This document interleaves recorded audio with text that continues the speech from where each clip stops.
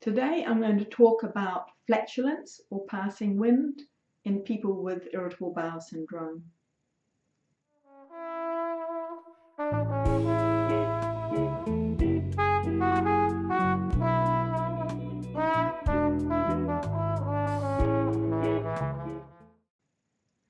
My name is Suzanne Perazzini and I'm the author of two low FODMAP cookbooks and the creator of two low FODMAP coaching programs. So flatulence or passing wind, breaking wind, passing gas, farting, however you want to call it, and the medical term is flatus, F-L-A-T-U-S. Now how does this happen? It happens by the contracting of the muscles in the intestine and the colon, which push the wind down towards the rectum. How do we get the gas inside of us? Well, it can be from swallowing air, and that can be because we're talking while we're eating, while we're eating too fast and gulping in air, we're eating in a stressed situation. It can also be from the foods or drinks that we consume. For example, carbonated drinks got a lot of gas in them, and therefore that gas, of course, goes into our digestive system.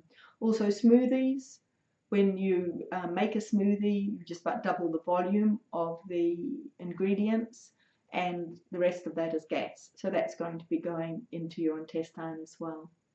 And the third way is through fermentation of undigested food in the bowel, which should have been digested in the small intestine, but has passed down directly into the bowel and been fermented there, causing gas.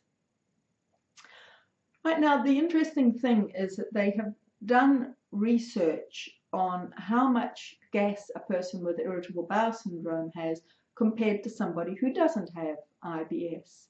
And there is no difference. So even though the amount of gas that a person has can vary quite considerably, and the average amount of passing wind is 15 to 25 times a day, with men passing more wind than women, there is quite a lot of variety. But overall, people with irritable bowel syndrome do not have more gas or pass more wind than somebody without it. What they did discover, though, was that the distribution of that gas in the body is different, and that people with IBS, the, the gas tends to pool or form in pockets, and this causes the distension or the bloating. And the other thing is that with the same amount of gas in the body, the person without IBS doesn't feel it as pain, whereas those of us with IBS actually feel it as pain. And that's the, the incorrect signals going between the brain and the gut, our faulty signals. So that's what we know about passing gas and that it really is no different in those of us with IBS or without, except for the distribution of it and the way that we react to it, that we feel it as painful, whereas another person doesn't.